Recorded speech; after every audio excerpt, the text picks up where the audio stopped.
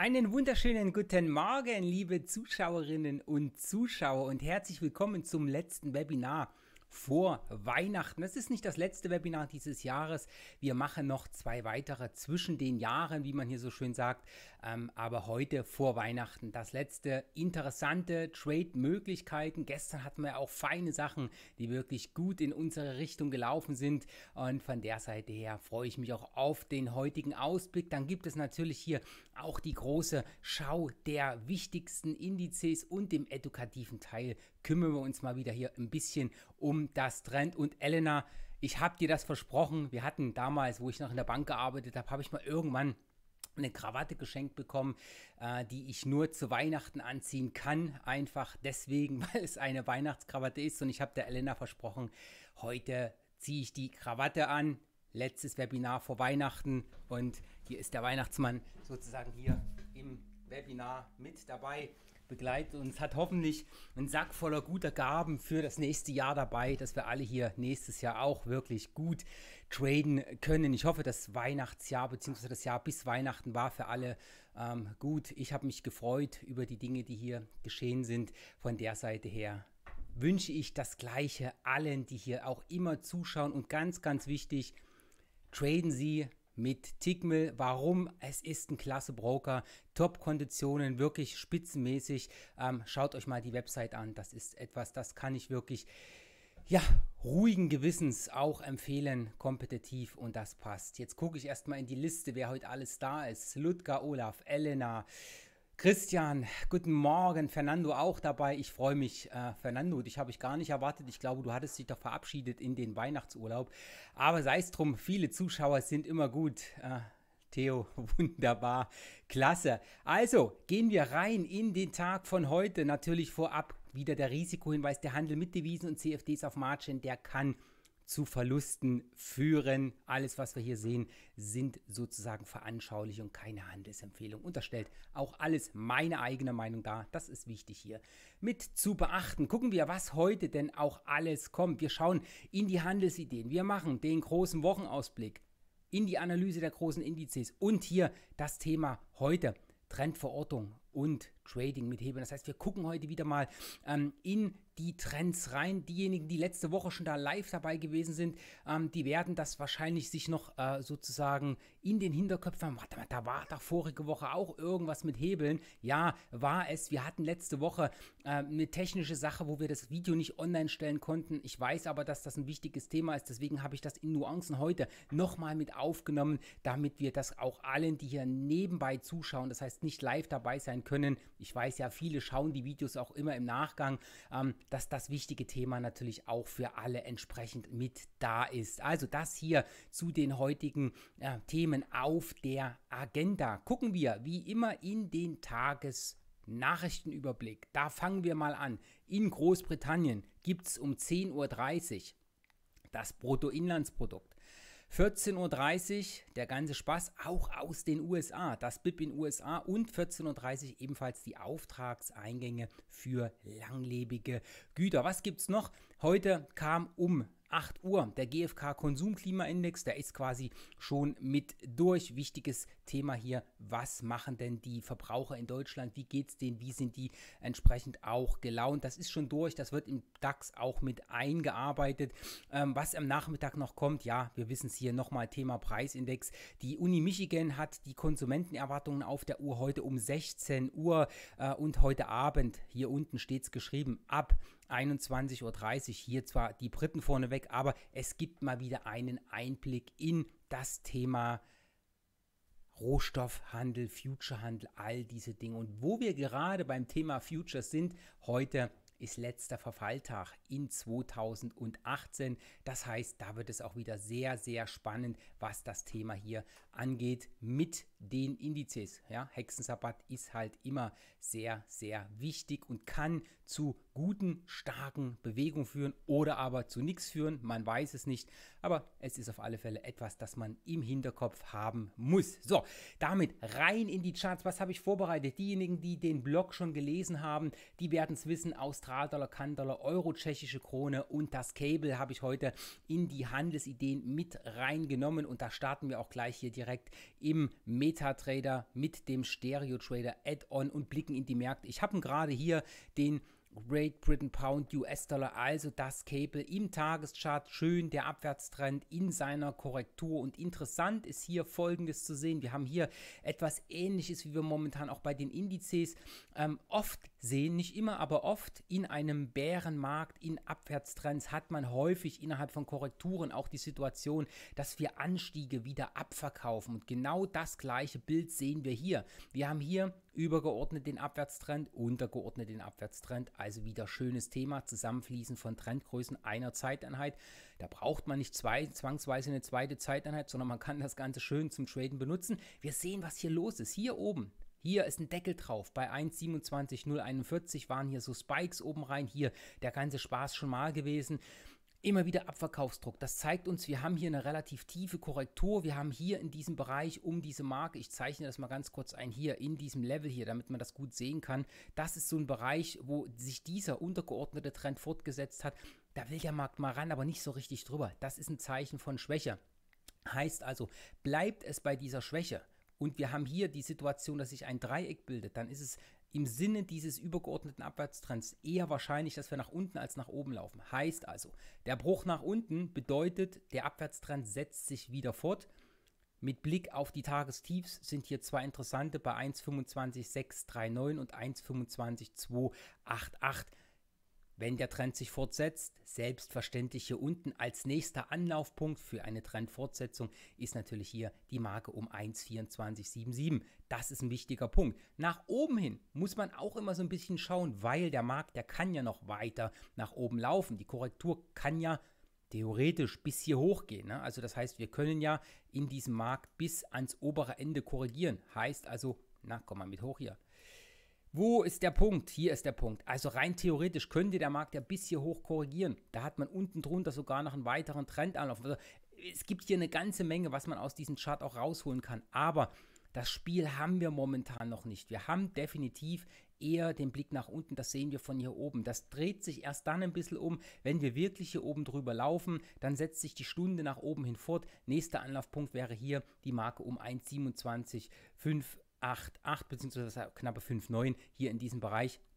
Das ist das Hoch. Schauen wir uns das Ganze mal eben in der Stunde an. Ich hatte es ja angesprochen und da sehen wir momentan einfach dieses Zusammenlaufen hier. Hier sehen wir diesen Schub von unten. Oben geht es nicht richtig drüber hinaus und das sind einfach die Marker. Aber wir sehen halt auch, dass sich dieser Schub nach oben innerhalb eines Aufwärtstrends mitgibt und wenn der hier oben drüber springt, das wäre dann ein Signal, dass dieser Trend der Stunde hier im großen Fluss nach oben weitergeht. Wie schon gesagt, die Verortung dieses ähm, Dreiecks hier an dieser Stelle ist aber eher ein bärisches Zeichen. Das heißt, der Normalfall würde eher so aussehen, dass der Markt hier nach unten wegbricht und das gibt uns dann das Potenzial, in Trendrichtung des Tages mit reinzulaufen. Alles andere wäre dann die sogenannte Ausweitung der Korrektur. Wo es danach hingehen kann, schauen wir uns mal kurz in der Woche an. Da haben wir nach unten natürlich einiges noch liegen. Hier sehen wir es, hier ist das aktuelle Trend tief und was wir dann liegen haben, sind hier drüben natürlich die Punkte aus dem Markt, der hier so Stück für Stück nach oben geschwungen. Da haben wir ja immer mal für das Trading einige Punkte liegen. Hier unten in diesem Bereich. Ich hänge gleich mal noch zwei Marken dran.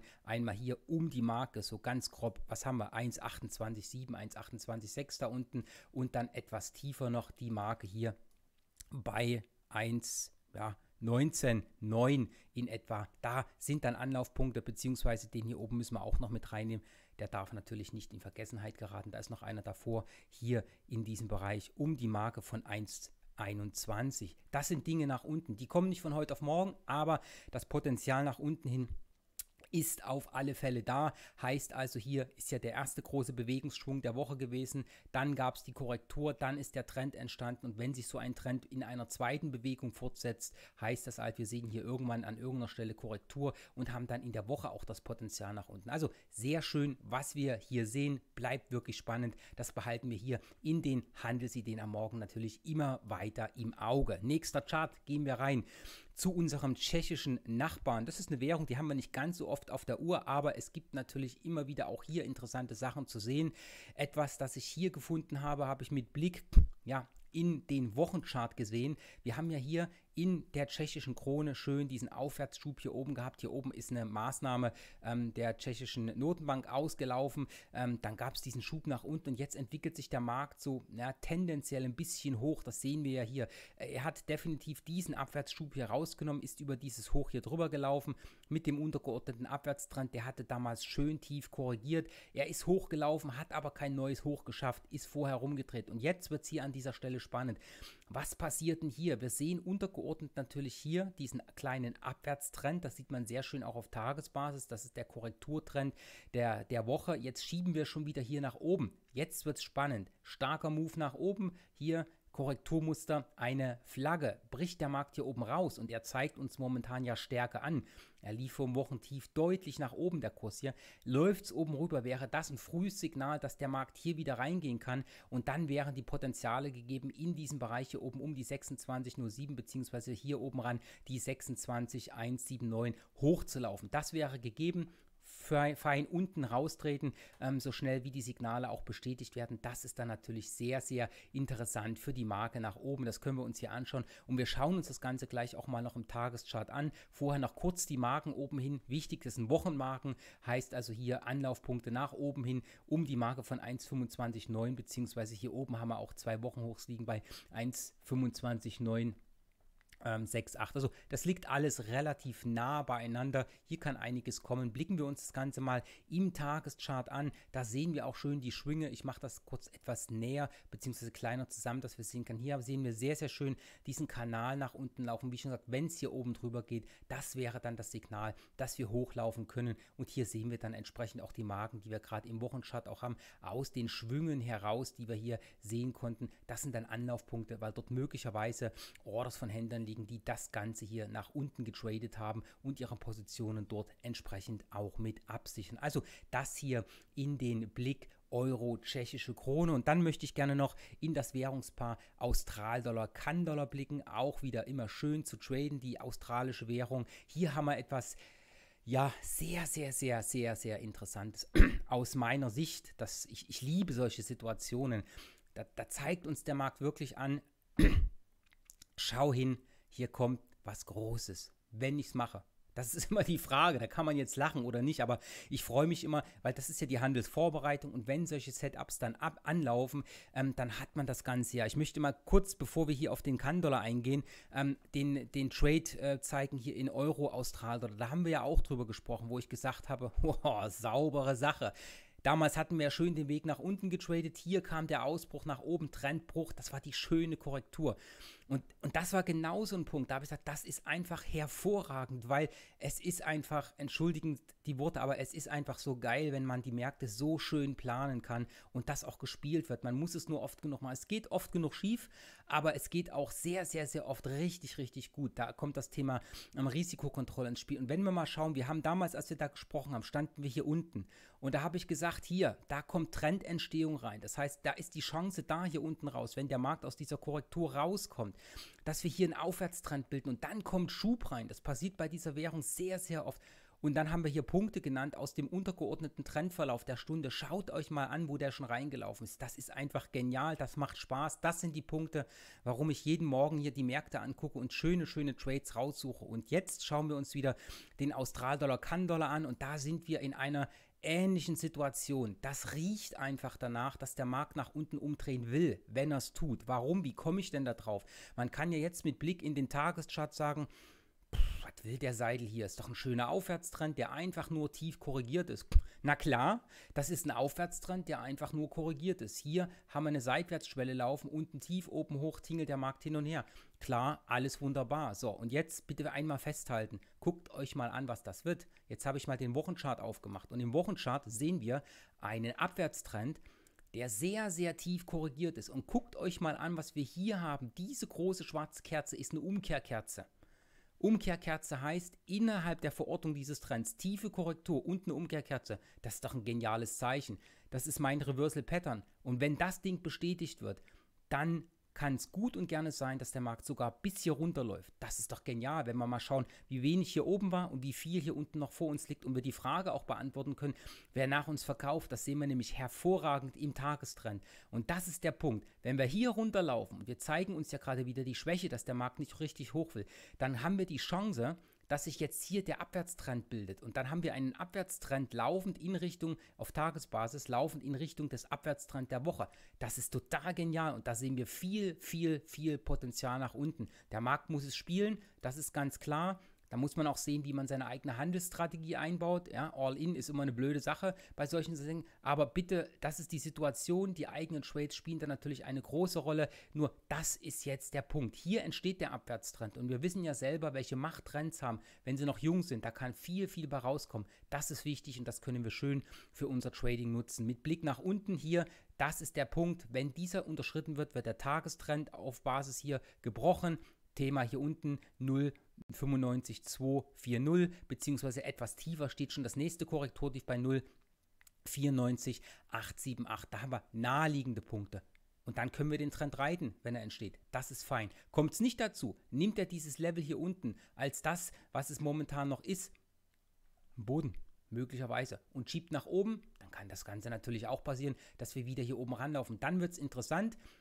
Hier die Frage, gehen wir oben drüber oder nicht? Das beantworten wir ein anderes Mal. Also das heißt jetzt großes Potenzial nach unten zu laufen, auch Potenzial nach oben zu laufen, alles offen, aber mit Blick in die Woche ist es sehr charmant, was hier uns gerade gezeigt wird. Damit also hier fertig mit der Besprechung der heutigen Handelsideen und damit machen wir einfach in der normalen Reihenfolge für die Freitagswebinare weiter. Wir schauen mal in die Ergebnisse der Wochenplanung für nächste Woche. Nächste Woche, oh Überraschung, Weihnachten. Ja, also wir haben hier bei uns in Deutschland Feiertag. Äh, in Amerika ist am Heiligabend noch ein bisschen Handel, aber wer handelt da noch? Also das große Geld ist weg von der Seite her. Ich gehe mal davon aus, da wird nicht wirklich viel passieren. Ähm, wichtige Nachrichten kommen dann am Donnerstag und am Freitag noch einmal. Da gibt es das Conference, Board Verbrauchervertrauen für den Monat Dezember hier um 16 Uhr und die Verkäufe neuer Häuser, alles beides aus den USA. Und am Freitag ähm, gibt es die Rohöllagerbestände, wichtig für alle, die auf den Rohölpreis auch schauen. Und wir wissen noch nicht genau wann, aber es wird kommen. Der FED-Vorsitzende Paul nimmt hier Stellung. Das ist immer sehr wichtig. Da wird viel daraus gelesen, weil es geht da um nichts Geringeres als die wirtschaftliche Entwicklung in den USA. Und das ist ein sehr, sehr sensibles Thema. Also sind wir mal gespannt, was denn da kommen wird. Und ich würde sagen, damit gehen wir gleich rein in die Märkte. Wir waren schon beim US-Markt und dann gucken wir doch einfach mal in die große Marktanalyse rein, die wir hier machen können. Wie schon gesagt, wenn Fragen sind oder ein Wunschchart existiert, bitte einfach in die entsprechenden ähm, Chats hineinposten. Rolf, ich grüße dich. Ähm, habe gar nicht gesehen, dass du auch dabei bist. Das freut mich sehr. Also wenn Fragen sind, bitte einfach hier direkt in die entsprechenden Chats rein auf Facebook oder auf GoToWebinar und dann können wir uns das Ganze hier gemeinsam auch mit anschauen. Also gehen wir in die Charts hinein. Wir fangen mal wieder an bei dem Lieblingschart der Deutschen, den DAX. Pam. Hier haben wir ihn. Ich mache es mal kurz etwas kleiner, äh, die ganze Sache. So, hier haben wir mehr Platz. Was haben wir hier? Im DAX, ach, das ist wieder so hässlich, Leute, ich mache das mal anders. Ich gehe in einen sauberen Chart rein. Ich mag das immer nicht. Ich mag es gern aufgeräumt, wenn wir hier an dieser Stelle miteinander arbeiten. Das heißt, wir nehmen einfach hier mal ein neues Chartfenster und gucken uns den DAX in diesem neuen Chartfenster entsprechend auch an. Äh, und da sehen wir hier, was hier kommt. Wir brauchen nicht die 15 Minuten, wir brauchen erstmal schön den Tag. Und hier sehen wir wieder in hervorragender Manier, wie fein der Abwärtstrend schön nach unten läuft und sich immer weiter fortsetzt. Das ist ein schöner schöner Bärenmarkt. Rallye 2.0 dieses Jahr mal abwärts gerichtet. Wir haben es ja das laufende Jahr schon gesehen und alle haben auf eine Weihnachtsrallye gewartet, nur die kam einfach nicht. Was da kam, waren immer mal kurze Rücksetzer nach oben und die wurden immer wieder genommen, um nach unten abzuverkaufen. Und so sieht das Ganze aus. Hier im Kleinen auf die Bewegung sind wir jetzt unter das Tief hier drunter gelaufen, also die steht ordentlich in Bewegung. Das heißt, es könnte hier auch mal eine Korrektur kommen, die man natürlich von Schnepper nach oben immer wieder nutzen kann. Aber im großen Bild, wenn wir uns das Ganze jetzt mal in der Woche anschauen, dann sehen wir einfach, wo wir hingelaufen sind. Wir sind hier unter wichtige Marken drunter durchgelaufen. Also hier war ein Support, da sind wir einfach richtig drunter. Gut, die alten Supports, die brauchen wir uns hier oben nicht mehr anzugucken. Das hier oben, das war die Marke von 10.800 800 Punkten. Die hat der Markt diese Woche auch nochmal angeschnuppert, aber wir sehen, wir stehen momentan bei 10.576 Zählern. Das ist nicht wirklich was. Nächster Anlaufpunkt hier auf der Untersätze, das wäre irgendwo dieses Level hier in diesem Schwankungsbereich hier unten. Da ist der Markt immer mal rangelaufen, schon in der Vergangenheit. Das heißt, das war ja hier diese äh, Korrektur, die sich hier rausgezogen hat, Korrektur tief, die lag hier unten beim Wert von knapp, was haben wir im Low gehabt? Na, gute 10.000 Punkte. Also hier unten die 10.000 Punkte Marke, die ist hier interessant an dieser Stelle. Das heißt hier, ich mache das ganz kurz mal etwas größer, dass wir das besser sehen können. So, hier rein und dann packe ich einfach mal die 10.000 hier rein. So, zack, so, so einfach kann man das hier gestalten für die Analyse. Das heißt, hier unten ist ein wichtiger Bereich, den man auf alle Fälle immer mit im Auge behalten kann. Vorher, vor der 10.000 gab es ein bisschen Gerangel, aber das ist ein wichtiger Marker. Es ist nicht ausgeschlossen, dass dieser Abwärtstrend einfach noch bis da unten hinläuft. Ich meine, wir können sogar noch tiefer laufen, nur wir müssen ja so ein bisschen Planung machen, was aktuell auch drin ist und das ist hier irgendwo die Marke hier unten um die 10.000 Punkte. Hier gibt es noch ein Zwischentief, was der Markt auch anlaufen kann. Das ist ungefähr die Marke von 10.400 Punkten. Also auch das ist ohne weiteres noch drinnen, dass der Markt hier auch anläuft im kürzerfristigen Bereich. Viel Platz bis darunter ist ja nicht mehr. Das kriegt man mittlerweile teilweise sogar über Tagesschwankungen im DAX hin, sowas Ganze hier ähm, zu machen. Also, das passt ganz einfach hier schön zusammen im DAX. Schöner Abwärtstrend, das können wir sehr gut zum Traden nutzen ich liebe ja das Traden aus Korrekturen heraus. Jetzt stehen wir hier weiter in der Bewegung. Da warten wir einfach mal. Vielleicht gibt es hier unten einen Bounce und dann von oben nach unten wieder. Das bleibt spannend. Auf alle Fälle der Blick immer auch abwärts gerichtet. Und hier an dieser Stelle möchte ich auch wirklich allen sagen, weil ich kriege das immer wieder mit ähm, durch Anfragen, die ich jetzt auch im, im Zeichen der Online-Ausbildung, die ich habe, wo man einfach sagt, Mensch, der DAX, der muss doch aber irgendwann mal wieder hochkommen. Und da werden natürlich sehr, sehr gern entsprechend die Marker genommen, die man hier nutzt, wenn man mal eine Nachricht liest. DAX könnte bei 11.000 Punkten Punkten stehen. Und ich sage immer auch immer wirklich, ja, das könnte sein, das ist kein Problem. Nur lesen Sie nicht so viel da, kümmern Sie sich besser um Ihre Trade-Vorbereitung und dann sehen Sie, was dann harmonisch einfließt und wie gut der Markt entsprechend ähm, ja, funktioniert und da die eigenen Setups zu gestalten. Das ist viel, viel wichtiger,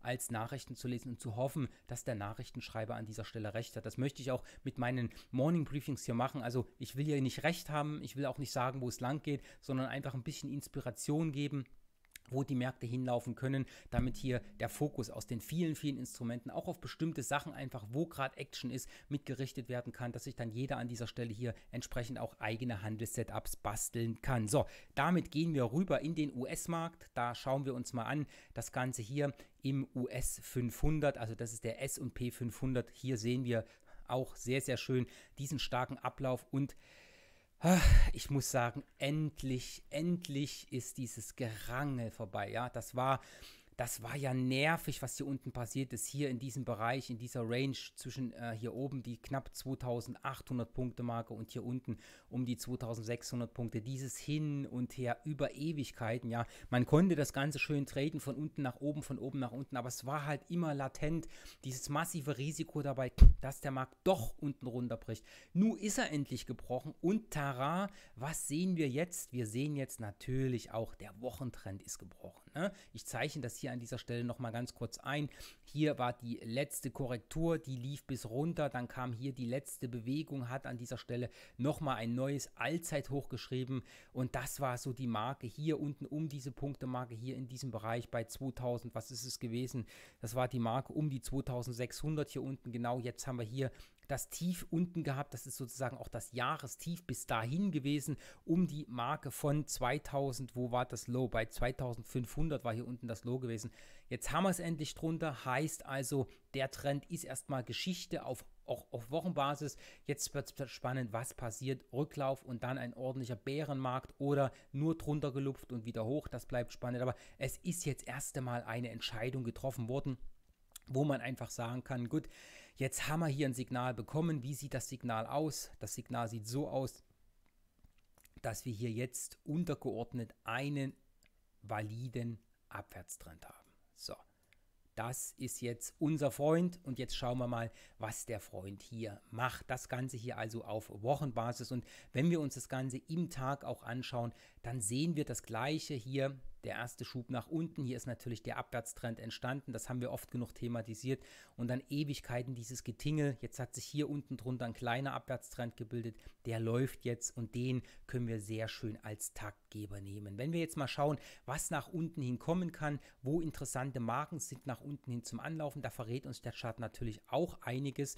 Ähm, und das sind dann natürlich Werte, die wir hier drinnen liegen haben. Wenn wir einfach mal auf den Trendverlauf hier, der hier gewesen ist, wo hier markante Levels sind, wo der Markt immer mal angehalten gehalten hat. Da haben wir hier einfach ein paar Marken liegen, die möchte ich jetzt einfach mal visuell einzeichnen. Da kommt es mir gar nicht so drauf an, was da für Punktewertigkeiten sind. Aber was ich hier einfach zeigen möchte, ist, es gibt dort noch einiges an Potenzial. Die Marke hier unten ist übrigens auch direkt ein Bereich hier, ähm, wo der Markt auch mal oben drüber gelaufen ist, wo eine Trendfortsetzung gemacht hat. Solche Marken sind auch immer von besonders hoher Relevanz. Also hier ist nach unten hin noch einiges an Potenzial da und das bleibt spannend, weil das sind natürlich die Marker, die wir dann auch im Verlauf des nächsten Jahres mit auf der Uhr haben müssen. Das heißt, wenn der Markt hier nicht einfach zur Jahreswende sich besinnt und sagt, ach, alles doch nicht so schlimm, das mit den Zinsen ignorieren wir komplett, den Handelsstreit blenden wir komplett aus und auch, dass die Wirtschaft in den USA langsam so ein bisschen schwierig wird, blenden wir auch aus und dann geht es ab Januar nur stracks nach oben. Das wäre schön, dann richten wir uns einfach um, aber ansonsten müssen wir einfach auch mit im Blick haben,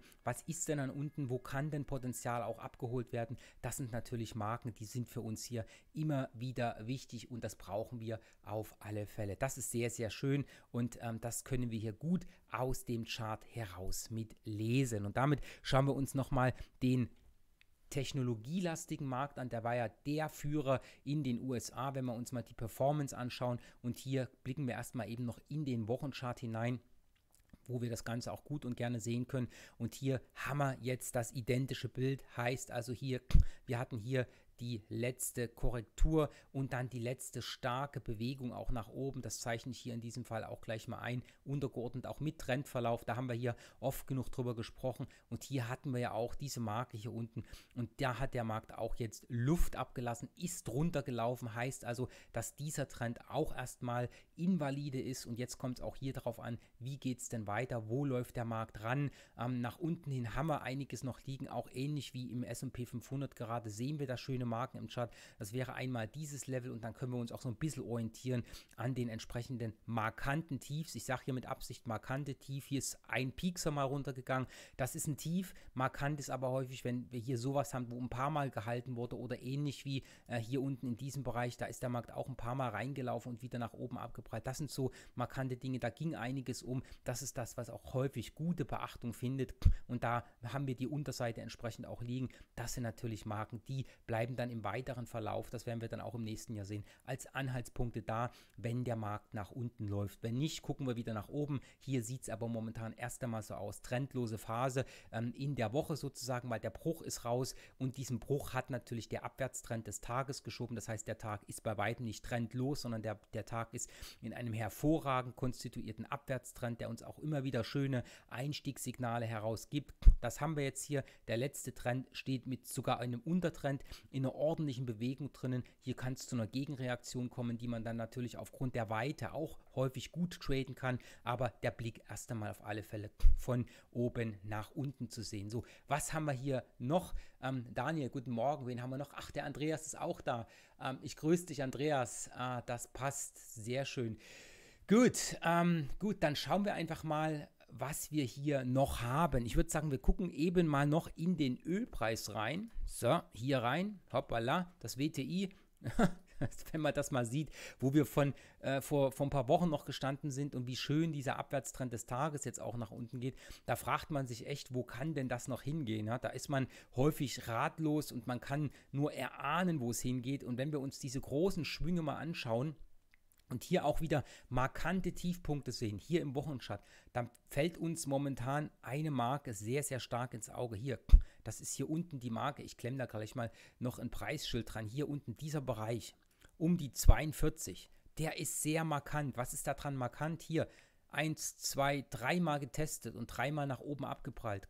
Danach kam dieser massive Schub nach oben. Bleibt spannend. Läuft da dran, Geht er wieder hoch oder läuft er drunter? Die OPEC macht ja Maßnahmen, versucht Maßnahmen, um den Ölpreis etwas aufzuhalten, den Ölpreisverfall. Also all das spielt hier momentan eine sehr, sehr große Rolle ähm, und nichts davon funktioniert und das ist halt der Punkt, wo es nach unten geht. Und wenn wir hier suchen, wo wir ranlaufen können, wir haben ja hier auch dieses Tief gehabt, ähm, da ist der Markt auch unten reingelaufen, jetzt geht es ein kleines Stück nach oben, aber wenn wir hier mal nach einer sehr, sehr markanten Marke suchen, dann haben wir als nächste Markante hier unten die 42,50. Wenn wir uns das mal noch im längeren Verlauf anschauen, ist das hier auch im Monatschart ein Bereich, wo wir das auch sehen, dass der Markt hier gehalten hat. Ansonsten, der Weg nach unten ist da weiter offen. Ne? Und wenn wir mal sehen, das, was wir hier sehen, ist etwa etwas weniger als die Hälfte von dem, was da oben kam. Also wir sehen, da kann noch viel, viel, viel mehr kommen, muss nicht, aber kann. Von der Seite her haben wir einen schönen abwärtsgerichteten Markt der uns hier definitiv noch kein Ende anzeigt. Und das ist das Schöne,